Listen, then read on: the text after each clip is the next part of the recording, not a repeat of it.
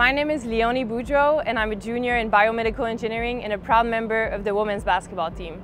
The first thing I can tell you about myself is that all my actions are devoted to one single purpose and that is to inspire people to achieve their full potential. You know, I wake up every single morning grateful for the opportunities I had to achieve my own full potential. So my way of giving back is just to help people do the same. This is why I came from Montreal, Canada to study at Purdue University where I believe in my heart is the best university to prepare students for the next level and help them make an impact in the world. It goes without saying that my schedule with engineering and basketball and other extracurricular activity is really challenging, but that's what I love about it.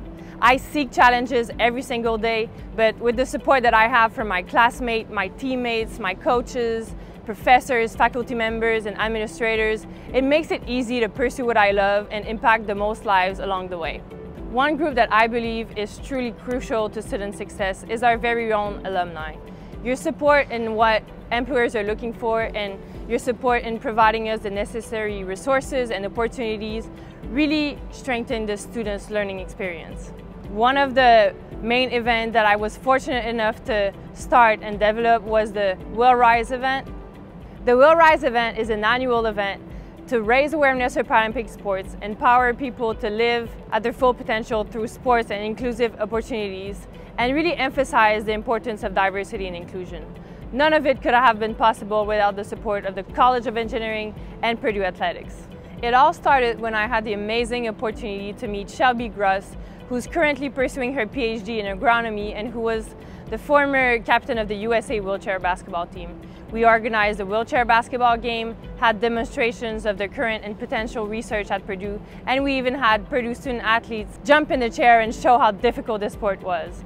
I believe that Paralympic sports deserve more attention and more support, and I believe that Purdue University has the support system to be at the forefront of the Paralympic movement. The Wheel Rise event is affiliated with the Ray Ewry Sports Engineering Center, which is led by Professor Jan Anders Månson, who's the most brilliant and generous person I know.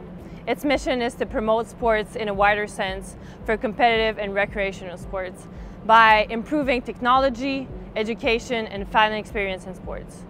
Our objective is to promote and provide visibility for the Sports Engineering Center by demonstrating the research at Purdue and inviting Olympic and Paralympic athletes on campus. The next Wheel Rise event is coming soon, so please stay tuned and I will provide you with details on how to join us in this journey. Thank you so much again for helping me and so many others to learn and grow in an environment where we can build skills to impact people's lives.